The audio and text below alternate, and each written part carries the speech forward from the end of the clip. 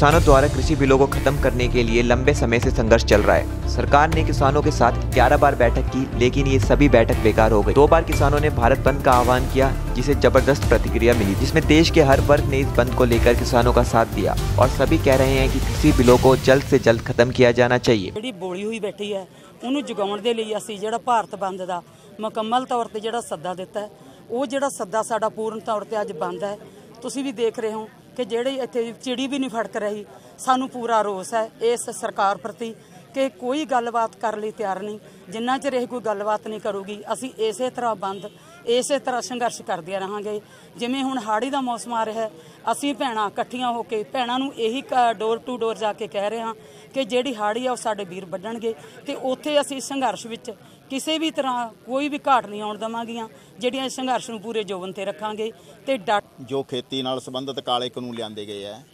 ਉਹਨਾਂ ਕਾਨੂੰਨਾਂ ਦੇ ਖਿਲਾਫ ਪਿਛਲੇ 4 ਮਹੀਨਿਆਂ ਤੋਂ ਕਿਸਾਨ ਜਿਹੜੇ ਦਿੱਲੀ ਦੇ ਬਰੂਹਾਂ ਤੇ ਬੈਠੇ ਹੋਏ ਨੇ, ਲਗਭਗ 9 ਮਹੀਨੇ ਤੋਂ ਪੰਜਾਬ ਤੇ ਵੱਖ-ਵੱਖ ਥਾਵਾਂ ਤੇ ਲੋਕ ਧਰਨਿਆਂ ਬਾਜ਼ਾਰਾਂ 'ਚ ਬੈਠੇ ਨੇ। ਮੋਦੀ ਸਰਕਾਰ ਜਿਹੜੀ ਹੈਗੀ ਆ, ਬਿਨਾਂ ਸ਼ੱਕ 11 ਮੀਟਿੰਗਾਂ ਦਿੱਤੀਆਂ ਹੈਗੀਆਂ, ਪਰ ਉਹਦਾ ਮਸਲੇ ਦਾ ਹੱਲ ਨਹੀਂ ਕੀਤਾ ਹਜੇ ਤੱਕ।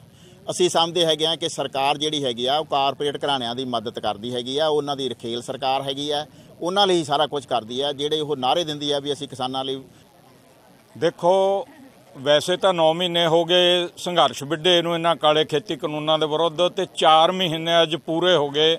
ਦਿੱਲੀ ਦੇ ਬਾਰਡਰਾਂ ਤੇ ਬੈਠਿਆਂ ਨੂੰ। ਤੇ ਮੋਦੀ ਦੀ ਹਕੂਮਤ ਜਿਹਦੀ ਪਿੱਠ ਦੇ ਪਿੱਛੇ ਅਡਾਨੀ, ਅਬਾਨੀ ਤੇ ਵੱਡੀਆਂ ਸਾਮਰਾਜੀ ਕੰਪਨੀਆਂ ਖੜੀਆਂ ਉਹ ਅਜੇ ਵੀ ਆਕੜ ਦੇ ਵਿੱਚ ਬੈਠੀ ਆ। ਕਿਸਾਨਾਂ ਦੀ ਗੱਲ ਮੰਨਣ ਨੂੰ ਤਿਆਰ ਨਹੀਂ। ਭਾਵੇਂ 11 ਮੀਟਿੰਗਾਂ ਕਰ ਲੀਆਂ ਪਰ ਪੱਲੇ ਕੁਝ ਨਹੀਂ ਪਾਇਆ। ਤੇ ਹੁਣ ਉਹ ਮੀਟਿੰਗਾਂ ਕਰਨ ਤੋਂ ਵੀ ਆਕੀ ਹੈ ਇਸ ਕਰਕੇ ਉਹਦੇ ਤੇ ਦਬਾਅ ਵਧਾਉਣ ਵਾਸਤੇ ਸੰਯੁਕਤ ਕਿਸਾਨ ਮੋਰਚੇ ਵੱਲੋਂ ਜਿਹੜਾ ਪੂਰੇ ਭਾਰਤ ਦੇ ਵਿੱਚ ਬੰਦ ਕਰਨ ਦਾ ਸੱਦਾ ਦਿੱਤਾ ਹੈ। ਉਹਦੇ ਤਹਿਤ ਅੱਜ ਭਾਰਤੀ ਕਿਸਾਨ ਯੂਨੀਅਨ ਏਕਤਾ ਅਗਰਾਹਾਂ ਵੱਲੋਂ 16 ਜ਼ਿਲ੍ਹਿਆਂ 'ਚ 46 ਥਾਵਾਂ ਤੇ ਸੜਕਾਂ ਜਾਮ ਕੀਤੀਆਂ ਹੋਈਆਂ ਇਸੇ ਤਰ੍ਹਾਂ ਤੇ 4 ਰੇਲਵੇ ਲਾਈਨਾਂ ਜਾਮ ਕੀਤੀਆਂ ਹੋਈਆਂ ਦਿੱਲੀ ਨੂੰ ਜਾਣ ਵਾਲੀਆਂ। ਇਸੇ ਤਰ੍ਹਾਂ ਪੂਰੇ ਦੇਸ਼ ਦੇ ਵਿੱਚ ਵੱਖ-ਵੱਖ ਸੰਘਰਸ਼ੀਲ ਜਥੇਬੰਦੀਆਂ ਨੇ।